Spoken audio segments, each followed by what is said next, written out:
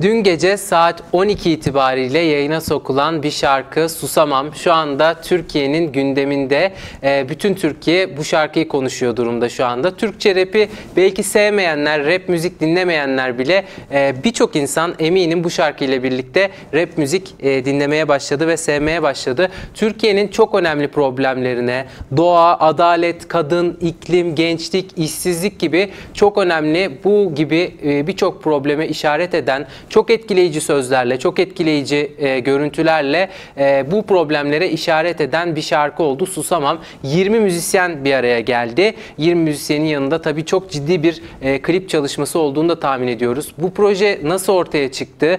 E, bu projenin ortaya çıkmasında e, kimler e, destek oldu? Aynı zamanda e, nasıl yapıldı çekimler vesaire bunları merak ediyoruz tabii ki. O yüzden e, bu şarkıyı yapan müzisyenlerden Ados'la bir bağlantı yapmak istedik. Kendisi şu anda hattımızda. Merhabalar Ados, hoş geldiniz yayınımıza.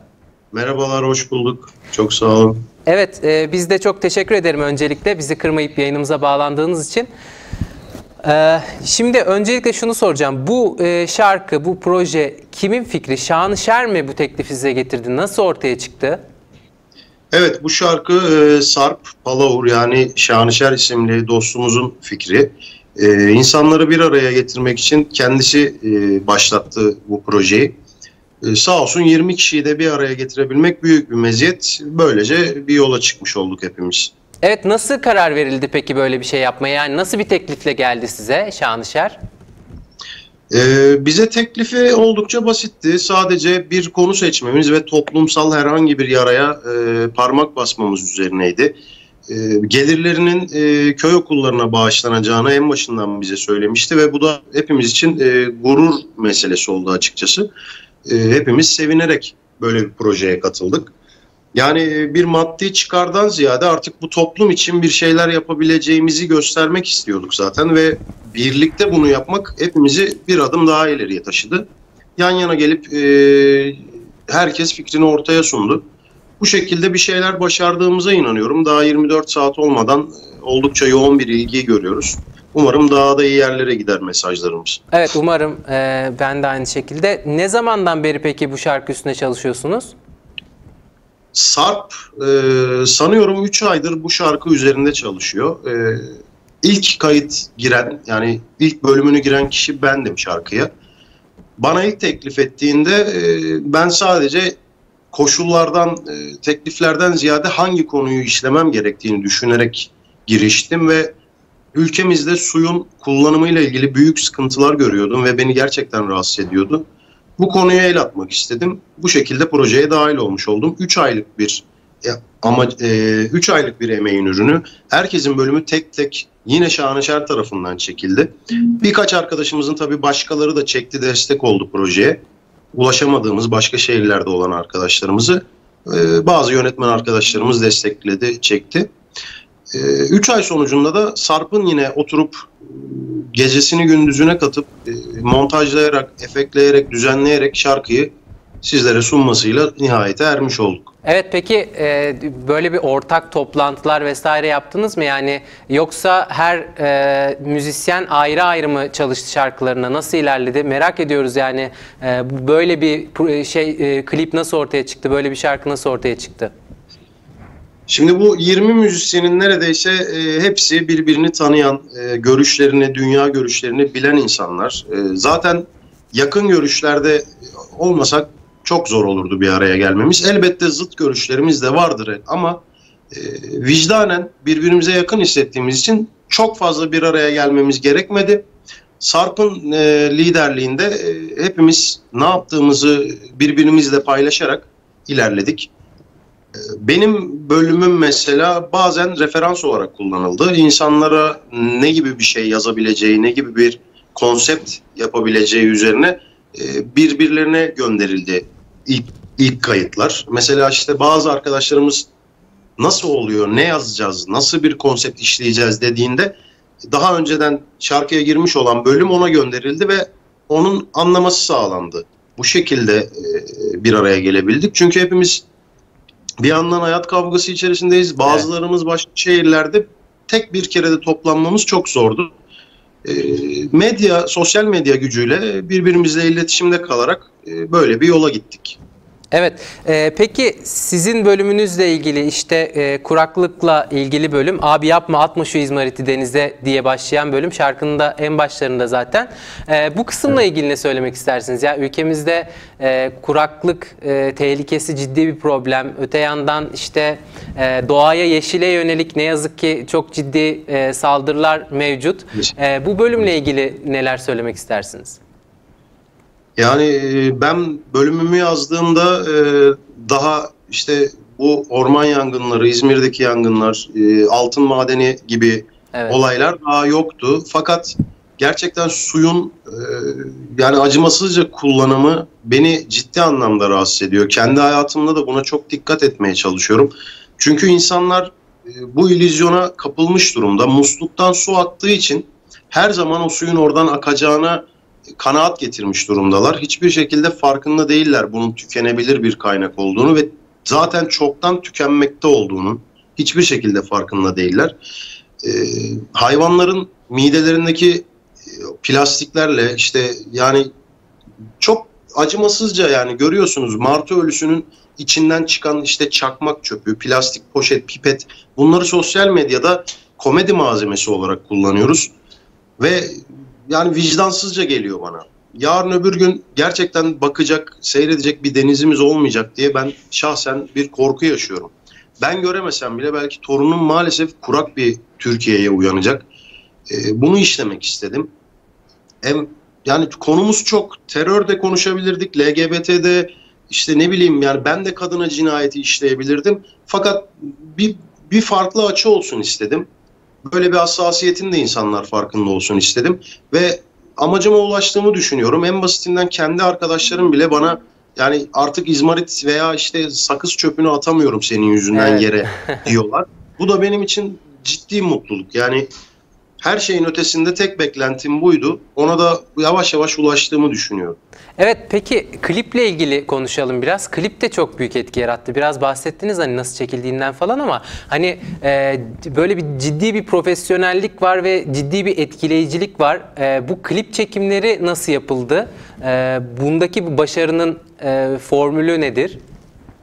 Bundaki başarının formülü bence sanatçıların özgür bırakılması, projeyi yapan kişi yani Sarp tarafından sanatçıların özgür bırakılması ve her birine farklı konseptler yaratılabilmesi, e, bahsettikleri konu üzerinden bütünleyici görüntüler toplanabilmesi. Bu da bence Sarp'ın e, yeteneğini gözler önüne seriyor.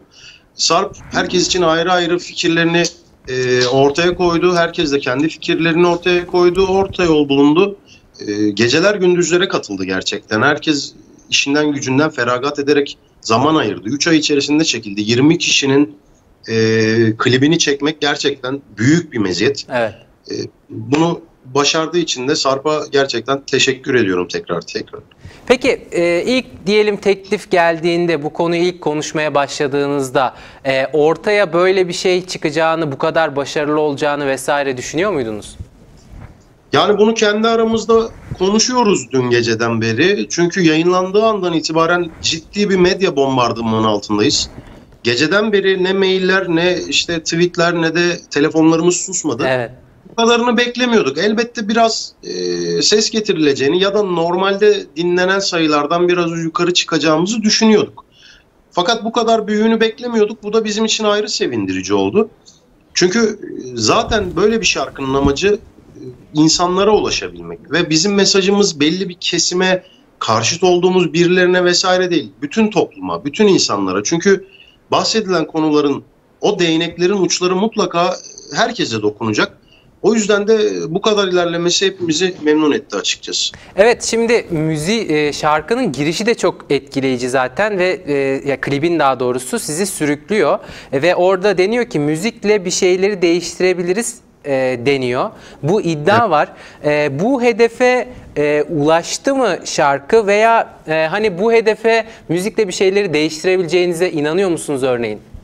Kesinlikle inanıyoruz. Zaten e, motivasyonumuz en başta buydu. Yola çıkma motivasyonumuz. Az önce de söylediğim gibi yani kendi çevremin, eşimin, dostumun yere çöp atmaktan artık imtina etmesi bile bir şeyleri başarmaya başladığımızın göstergesi. Bu da müziğin gücünden ileri geliyor. Ben insanlara şahsen o izmariti niye attın denize deseydim o kadar etkili olacağını düşünmüyorum ama görsel ve işitsel sanat bir araya geldiğinde mucizeler yaratabiliyor gördüğünüz gibi. Evet kesinlikle mucizeler yaratabiliyor. Peki sözlerle ilgili hem sizin sözleriniz hem de diğer sanatçıların sözleri gerçekten çok açı, açık ve cesur. Yani e, ülkede hani bir e, baskı ortamı olduğunu e, söylemek e, çok kolay. Yani gerçekten e, ciddi bir baskı da var. Hani bir şeyleri çıkıp açıkça e, dile getirmek e, çok zor. E, bu sözler nasıl bu kadar cesur bir şekilde ortaya atıldı? E, yani sizi buna ne hazırladı? Bunu merak ediyorum. Aslında biz e, bu projeyle birlikte bu zamana kadar susmamızın hata olduğunu, bir e, yanlışın içinde olduğumuzu fark ettiğimiz anda e, giriştik bu projeye. Bizim önümüzü açan bu oldu. Zaten bu baskı ortamını kuranlar bile bu baskının altında kalmaya başladılar. Artık kimsenin susacak e, sabrı kalmadı. Zaten en başından beri susmak bir hataydı. Ee, bu yüzden e, baskılar vesaireler hiçbiri gerçekten bizi korkutmuyor. Korkmamıza hiçbir gerek yok. Çünkü biz doğruları söylüyoruz. Kimseye sataşmıyoruz. Kimseyi e, ne bileyim yani hakaret etmiyoruz. Kimseyi aşağılamıyoruz. Bizim hedefimiz belli bir kitle, belli bir zümre ya da işte birileri değil. Bizim hedefimiz bütün toplum, bütün sokakta, e, evlerinde yaşayan bütün insanlar. Esnaflar, çocuklar, kadınlar, lezbiyenler, geyler, LGBT topluluğu hepsi. Evet eksik konularımız var ve bunları umarım ileriki dönemde tamamlayabiliriz. Bizim amacımız bütün insanları ayırmadan e, onlara ulaşmaya çalışmak. Onların da bir gün zan altında kalabileceğini, zarara uğrayabileceğini, haksızlığa düşebileceğini anlatabilmek. Umuyoruz toplumumuz da bu e, duruma gözünü kulağını kapatmaz. Bazı şeyleri artık gözümüzü açarız. Ee, yani çünkü bahsedilen konular dediğim gibi ne siyasi ne de başka bir şey tamamen insanların toplum toplumların yaşadığı problemler. E, siyaset bizim işimiz değil. Biz rapçiyiz. Yalanla işimiz olmaz. Biz sadece topluma gerçek e, olan neyse onu anlatmaya çalışıyoruz ve bu konuda da başarılı olma, olduğumuzu düşünüyorum. Evet, topluma gerçek neyse onu anlatacağız diyorsunuz. Şimdi e, bir soru soracağım. Buna cevap vermek ister misiniz bilmiyorum ama e, Serkan İnci e, sosyal medyadan bazı şeyler yazdı. E, kendisine kesinlikle ben kişisel olarak da katılmıyorum ama işte bir arabesk buluyor, acındırma buluyor e, bu şarkıyı e, ve işte basitlik olduğunu düşünüyor. Milletin hoşuna bu gidiyor falan diyor. Siz de sosyal medyadan cevap verdiniz. Susamam'da neden Serkan İnci gibi olmamalıyız bölümünü de yazsaydık keşke e, diye mizah içerikli cevap verdiniz kendisine. E, evet. Bununla ilgili ne söylemek istersiniz? Keşke cevap vermeseydim. Yani böyle faşizan ilginç bir adamın e, zaten amacı prim. Evet. Yani priminin yani ekmeğine yağ sürmüş oldum. O da benim eşekliğim olsun. E, özür diliyorum susamam destekçilerinden. E, yani bu kadar. Onun hakkında fazla konuşmaya gerek yok. Emine Bulut e, konusunda da dediklerini umarım hatırlar insanlar. Evet. Daha fazla bir şey söylemenin gereği yok. Kendi vicdanında e, kavrulmasını diliyorum. Evet. Diyecek başka bir şeyim yok. Evet. Ee, peki e, bir de şunu soracağım. Spotify'a ilişkin de eleştirileriniz oldu. Sanıyorum 17. sıradan girdi bu şarkı ama işte yani Türkiye'nin gündemine gece oturdu zaten hani çok ciddi bir şekilde evet. izlendi. Bu Spotify'ın listelerinin zaten organik değil belli bir ödeme usulüne göre yapılan ödemelere göre işte belli anlaşmalara göre e, ilk 10, ilk 50 listelerinin vesaire belirlendiği uzun süredir de tartışılıyordu. Bu konuyla ilgili ne söylemek istersiniz? Spotify olayı gerçekten çok e, çirkin ve derin bir kuyu. Red grubunu belki bilirsiniz. E, evet. Red grubu bu konuyu bir süredir irdeliyor. Spotify Türkiye e, bir kişinin elinde dönüyor sadece. Bir kişi bütün e, müzik camiasının adına karar veriyor. Yani neyin popüler olacağına, neyin iyi müzik olduğuna, hangi türün e, gündem olacağına tek bir insan karar veriyor. Ben buradan isimleri söylemeyeyim ama Red grubunun paylaşımlarına bakarsanız biraz daha görebilirsiniz bir şeyleri. Elbette buna da ses çıkaracağız. Çünkü biz e, emek, emek sarf ediyoruz. E, rapçiler olarak elimizden geldiğince mesajlar vermeye çalışıyoruz ve sırf araya hatır gönül işleri girdiği için, kişisel ilişkiler girdiği için emeklerimiz çoğu zaman yok sayılıyor. Susamam'da da e, geceden itibaren ufak da olsa bir ses çıkardığımız için şu an işler değişti. Tabii ki popülerliğinin de etkisi var. Bir anda bu kadar e, tepki görünce, karşılık görünce Spotify ve diğer mecralar gibi hemen tabii ki değer gördü. Gördük hepimiz maalesef. E, ama genelde durum zaten vahimdi. Yani bir kişinin elinde yönetilen iğrenç bir rejim var ortada müzik piyasasında. Kimse bu konuda ses çıkarmıyor çünkü ses çıkarırlarsa başlarına bir şey gelecek. İşte olan rakamlardan da olacaklar ya da zaten nemalanıyordu. İşte problem çıkmasın diye susuyorlar. Ama susmanın zamanı değil. Hepinizi bir şekilde ses çıkarmaya davet ediyorum. Haksızlıkların karşısında durmamız gerek. Bu sadece benim için değil. Benim müziğimi beğenmeyebilir, kötü Evet. bulabilir Evet. insanlar. Bunlar hiçbir zaman e, bu eleştirilere karşılık vermem. Haklı bulurum. E, fakat bu ülkede on binlerce yetenekli müzisyen var ve bir kişinin elinde on binlerce sehpa olup gidiyor. Buna da bir zaman ayırıp ses çıkaracağız diye umuyorum. Evet, e, bu Spotify konusu da önemli gerçekten. Peki e, son soru olarak şunu soracağım. E, şimdi geçen e, ay e, yaklaşık olarak bir ay önce falan da e, ünlü rapçiler arasında işte Ben Fero, e, Ceza, Norm Ender gibi ünlü e, rapçiler arasında da bir diss savaşı başladı. Hani e, tabiriyle e, söylemek gerekirse. E, siz ama Türkçe rap'i çok farklı bir şekilde gündeme getirdiniz. Yani ülkenin gündemini ele alarak ve aslında bir umutla e, bir şeylerin değişebileceğini anlatarak e, gündeme getirdiniz. Bence kişisel görüşüm olarak çok da iyi yaptınız. E, siz neden bu tarzı tercih ettiniz ve bu diz savaşı konusuyla ilgili ne düşünüyorsunuz? Bunu merak ediyorum. Ee, ya şimdi ceza, ezel e, bu insanlar da yıllarca e, aslında çok şey söylemiş insanlar. Toplum ve yaşadığımız dünya ile ilgili çok fazla mesaj vermiş insanlar. E, fakat biz işte biraz e, kanı hızlı insanlarız. Yani arada böyle aramızda tartışmalar çıkabiliyor. Evet. Ama bu hiçbir zaman şiddete dönüşmez. Biz Evet. bunu yine sanatımızda e, eritiyoruz. Aynı kabın içinde hepimiz ekmeğimizi bölüşüyoruz bir şekilde. Yani bunlar çok büyük mevzular değil. Sadece iş biraz magazine yansıdığı için, dönüştüğü için insanlar e, bunları takip etmekten hoşlanıyor.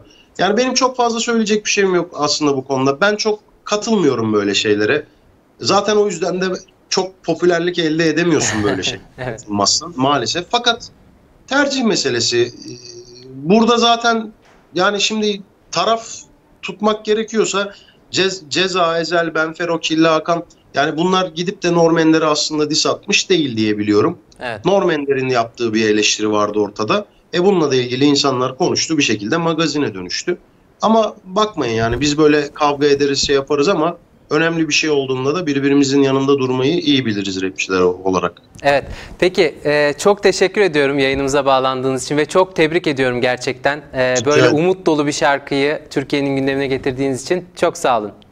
Çok ben teşekkür ederim. Hepinize iyi yayınlar diliyorum. Evet çok teşekkürler. Evet e, bu güzel şarkı e, Susamam e, şarkının adı da aslında e, çok güzel.